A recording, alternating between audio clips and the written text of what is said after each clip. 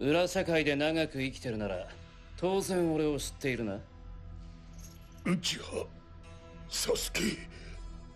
貴様らのような奴らに対してどこまでやる人間かってことも。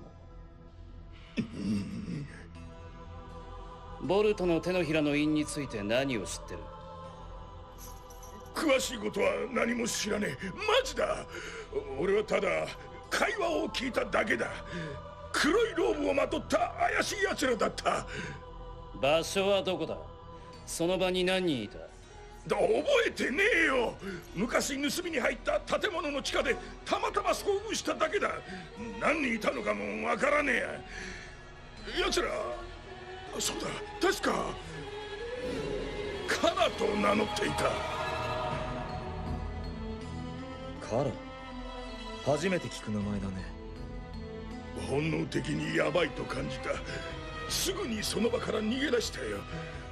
これは余計なことかもしれねえが俺はオロチマルの呪印のことならよく知ってる。だがほかげのガキに現れたあれは何かもっと別のものだ。もっとも俺にとっちゃどうでもいいことだがな。